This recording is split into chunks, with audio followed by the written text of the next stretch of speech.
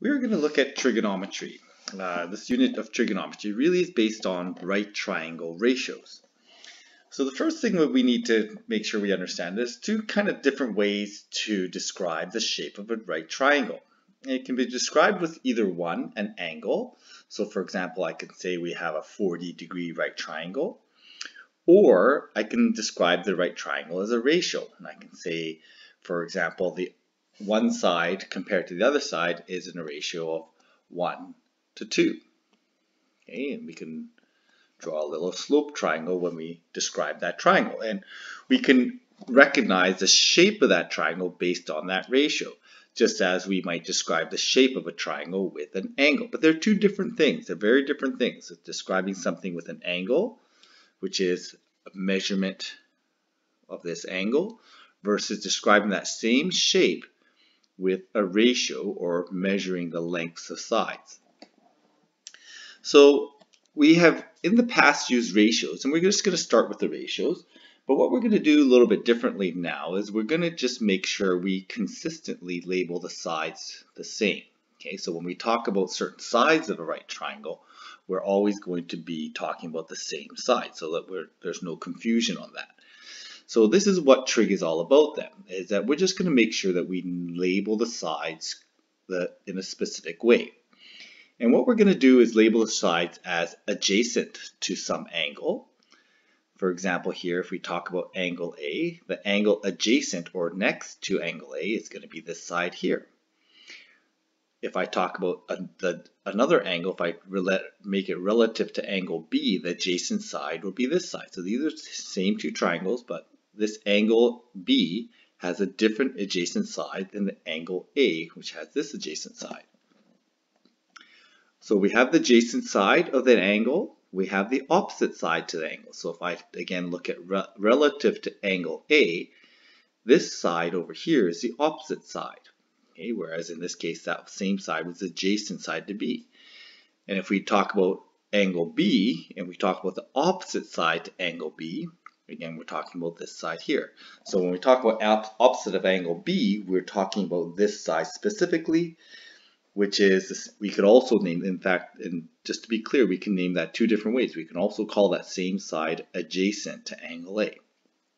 So it all depends. We have to make sure that we describe which angle we're making reference to.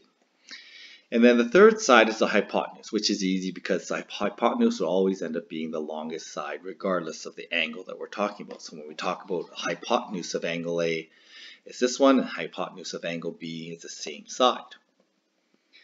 So that's important that we are able to name these sides. Okay. So what we're going to do is we're just going to stick with describing these shapes with ratios. Okay, so we're just going to use the side length and we're not going to worry about the angles for now. And we're going to describe the ratio shapes as fractions and decimals. And then we're going to use these same ratios to solve for these unknown sides of the triangle. So I'm going to, we're not going to worry too much about the names for this example. We'll kind of start talking about the names a little bit more formally. But if we were to talk about the side 6 here, it would be opposite of angle A, or we could also describe it as adjacent to angle B. And the side 8 here would be adjacent to angle A, and it would be opposite to angle B, and then the 10 is a hypotenuse for both angles. So I want to find the unknown, I've been given a right triangle here, all the sides have been solved for. I just want to figure out what these other sides of these other two triangles look like. So I'm going to maybe label this side, uh, we'll call that side X, We'll call that side y. And if I take a look at these two triangles, I can see that side 4 here is adjacent to side A, side 8 is adjacent to side A, or we could say opposite to side B, opposite side B. So these two sides actually relate to each other. So I'm going to write a proportion. And this is what we call a scale proportion because it's going to be the the the scale factor which goes between these two numbers. So I'm going to do small to large, and I know that there is a small to large comparison for the other sides. So then I need to look for these other sides. So if I look at this side here, side 6, it's opposite angle A. Opposite angle A is going to be this side here, x. So I'm going to compare those two sides. And I did small to large here. So I'm going to do the same comparison in the same direction. These are ratios and proportions. So proportions have direction. So I'm going to do it as small to large. Okay, so that's the ratio that I have here. And this is, you can see the scale factor is, scale, is when I divide those two numbers, I get 1 half. And then the scale factor must be 1 half. So I times by 1 half here. That means I divide by 1 half going this way or I can, oops, sorry, that did the wrong way around. That's going to be times by 2. So I'm going to divide by 2 going in the opposite direction. Okay, so x looks like it's going to be equal to 3. Okay, we may choose to cross multiply this.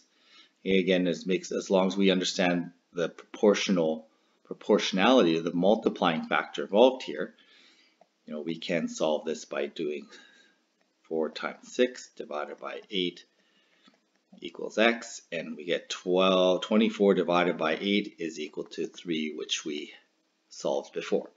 Okay, so we can see that our scale factor of 2 shows up between the two triangles in this multiplier going up and down.